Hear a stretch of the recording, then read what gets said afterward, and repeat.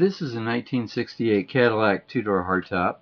Notice the unusual paint job. Notice first of all the section in above, immediately above the grill, matched with the section here on the side, and it's uh, marked off by some nice pinstriping.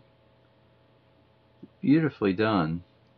And this is white is kind of a silver white with a cocoa color. Interior is beautiful red leather. Very nicely done. That custom console there in the middle. Dashboard looks original.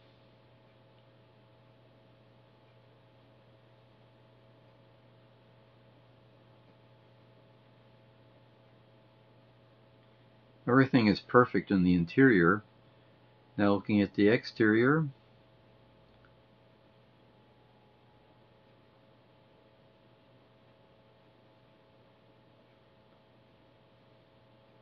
we have a continuation of that uh, pinstriping. And it flows very nicely into that back bumper which also includes the uh, the tail lights and we have some nice pinstriping on the on the deck lid This treatment is so much better than the plastic uh, filler that they used uh, later models between the rear quarter and the taillight. That almost always deteriorated. Notice the wire wheels. Beautiful. And again, another look inside.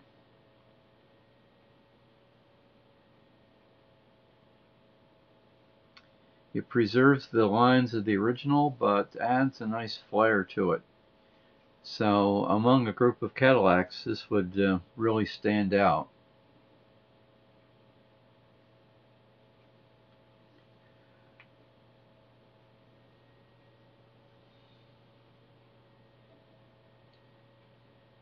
These cars had a 472 uh, cubic inch V8 and at the time 375 horsepower.